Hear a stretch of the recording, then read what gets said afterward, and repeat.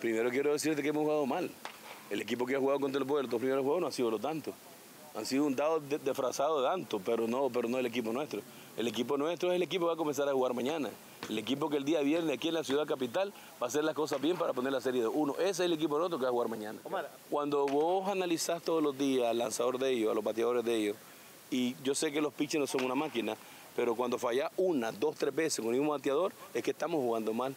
Cuando se mete un fly al field y la bola cae en Diomar, es que estamos jugando mal. Cuando se mete un rolling a segunda base con 3 y 2 y Aldo, un pelotero de selección nacional, va a partir a buscar una bola para qué si un bateador de esa banda. Entonces estamos jugando mal. ¿Cuántas carreras hicimos ahí con esos flyers? Tres, cuatro carreras. ¿Cómo terminó el juego? Entonces estamos jugando mal. Entonces, ¿qué hicimos hoy? Entrenamos por la mañana, las clases teóricas, venimos a practicar por la tarde, mañana estamos listos para jugar y mañana a ver el equipo nosotros como tiene que jugar como, como son los tantos. quiero decirle y advertir a la otra gente del Boer, ellos están jugando con los campeones nacionales.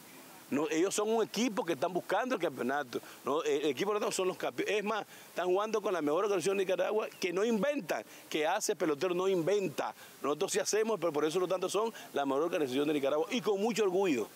¿Quién les cuesta reunirse, ir a la, televisión? Ver, ¿Cuál es el problema? Ninguno. Lo que pasa es que aquí, vuelvo a repetirte, aquí sea un país con alevosía, premeditación, eh, mala crianza y eso no deja nada.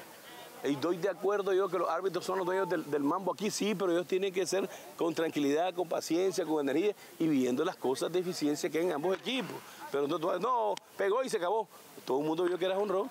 Es lo mismo 6 a 2 que 3 a 2. No, vamos a hacer unas variables mañana, en eso estamos.